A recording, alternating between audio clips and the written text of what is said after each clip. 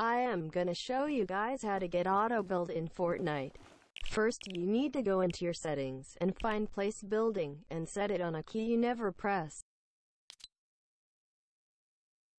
And put a water bottle or your controller on the key. And now you have auto build. You don't need to press anything to place build.